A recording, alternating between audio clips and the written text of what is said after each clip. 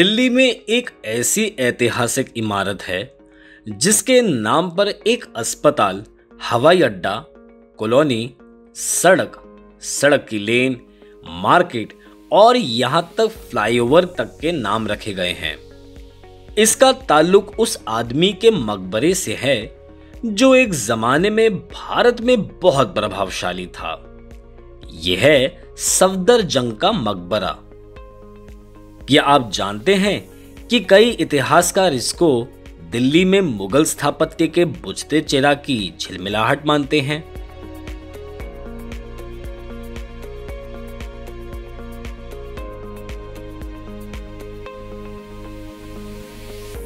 श्री औरबिंदो मार्ग पर Jorbagh metro station के निकट मौजूद सफदर जंग के मकबरे का निर्माण 18वीं शताब्दी के मध्य में दूसरे अवध नवाब सफदर जंग की याद में किया गया था। यह दिल्ली में सबसे मशहूर पर्यटन स्थलों में गिना जाता है। मकबरे के परिसर में मौजूद जंगली महल, मोती महल और बादशाह पसंद एक जमाने में रिहायशी इमारत हुआ करते थे। अपने सक्रिय दिनों में ये एक इबादत के लिए जगह होने के साथ साथ कई त्योहारों और समारोह के आयोजन करने के लिए दुरुस्त जगह होती थी। ठीक ऐसे ही इस मकबरे से जुड़े कई पहलू हैं। आइए आपको इनके सफ़र पर ले चलते हैं।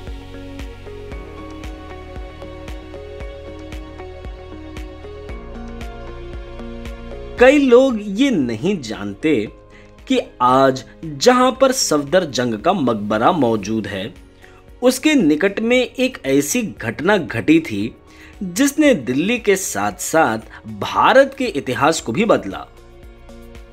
यहीं पर 17 दिसंबर सन तेरह को मध्य एशियाई शासक तैमूर और आखिरी तुगलक सुल्तान नसीरुद्दीन महमूद शाह तुगलक के बीच एक घमासान युद्ध हुआ, जिसके बाद तैमूर की जीत हुई और दिल्ली में कत्लेआम और लूट का मंजर देखा गया था। इसके कारण यह शहर लगभग डेढ़ शताब्दियों तक काफ़ी वीरान रहा, जिसके बाद लोदियों और मुगलों ने इसकी छवि बदली।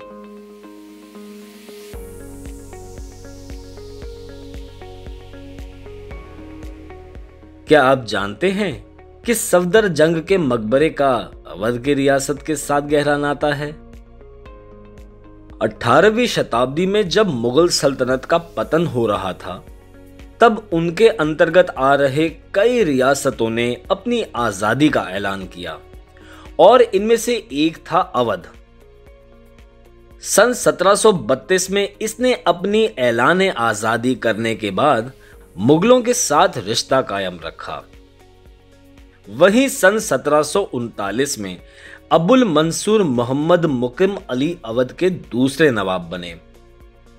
उन्होंने अपने राज का विस्तार तो किया और वो मुगल बादशाह अहमद शाह बहादुर के दमदार वज़ीर के तौर पर उभरे, जिसके कारण उनको सफदर जंग के खिताब से नवाजा गया।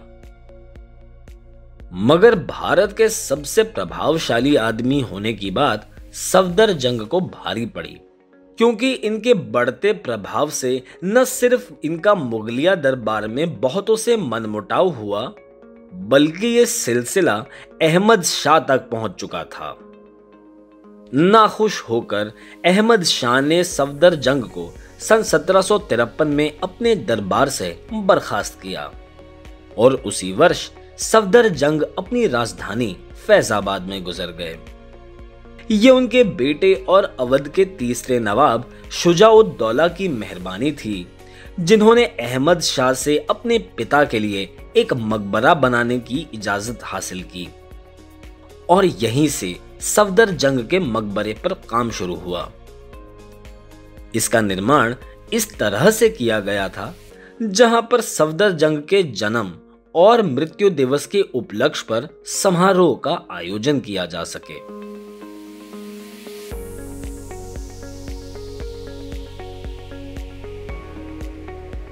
सफदर जंग का मकबरा मुगलिया सल्तनत के आखिरी वर्षों में प्रचलित स्थापत्य शैली में निर्मित एक इमारत है।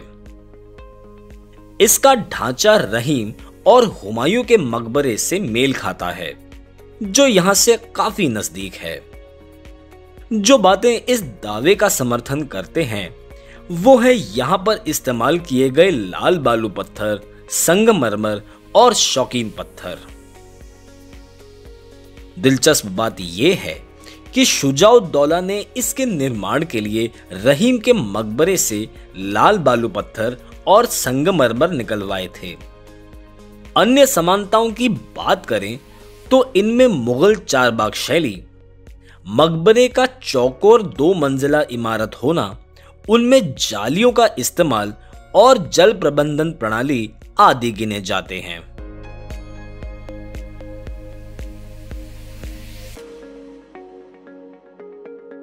सन 1803 में जब अंग्रेज़ों ने दिल्ली को कब्जाया, तब पुराना किला हुमायूं का मकबरा और लोदी बागों के साथ साथ सफदर जंग के मकबरे में भी यूरोपियों और भारतीयों का तांता लगा रहता था। और यहाँ पर उनके कई समारोह या महफिलें भी सजती थी। हैरत की बात यह है कि अठारह के गदर के दौरान, जब दिल्ली में मंजर जंग कायम था, तब इस मकबरे को किसी भी तरह का कोई नुकसान नहीं हुआ। अक्सर यहाँ पर छोटे मोटे मरम्मत के काम हुआ करते थे, जिसके कारण मोती महल जैसी इमारतें अंग्रेज़ों के लिए गेस्ट हाउस के तौर पर इस्तेमाल किए जाते थे। सन 1911 में जब दिल्ली भारत में ब्रिटिश राज की राजधानी बनी, तब वर्तमान मध्य दिल्ली के कई इमारतों और बागों की स्थिति को सुधारने पर काम किया जाने लगा। जिसके चलते भारतीय पुरातत्व विभाग के तहत आकर सफदर जंग के मकबरे में बड़े पैमाने पर काम किया गया। इस दौरान सन 1920 के दशक में सफदर जंग के मकबरे से सटा हुआ इलाका एक एयरपोर्ट बना, जिसका नाम भारत के तत्कालीन वाइसरॉय लॉर्ड विलिंगडन पर विलिंगडन एयरफील्ड रखा गया। ये भारत के सबसे पुराने हवाई अड्डों में गिना जाता है। और ये लगभग चार दशकों तक दिल्ली का हवाई अड्डा रहा। इसने दूसरे विश्व युद्ध और सन 1947 में कश्मीर युद्ध के दौरान काफ़ी हरकत देखी। फिर उन्नीस में भारत की स्वतंत्रता के बाद सफदर जंग के मकबरे के निकट होने के कारण इसका नाम सफदर जंग हवाई अड्डा रखा गया। 1960 के दशक में जब दिल्ली में विमानन गतिविधियों में इजाफा हुआ, तब हवाई अड्डे के इलाके को दिल्ली के दक्षिण में स्थित पालम में स्थानांतरित किया गया, जहाँ पर आज इंदिरा गांधी अंतर्राष्ट्रीय हवाई अड्डा मौजूद है। वहीं सफदरजंग हवाई अड्डा अब एयरपोर्ट अथॉरिटी ऑफ़ इंडिया का कॉरपोरेट हेडक्वार्टर है। और ये वीवीआईपी और कई विमानन गतिविधियों के लिए भी इस्तेमाल किया जाता है। कई हॉलीवुड और भारतीय फ़िल्मों के साथ साथ हेरिटेज वॉक और कला संबंधी कार्यक्रम का हिस्सा बन रहा सफदर जंग का मकबरा वास्तुकला के नज़रिए से एक अद्भुत इमारत है, जो हमें भारतीय इतिहास के एक अनजाने और खूबसूरत पन्ने से रूबरू कराता है।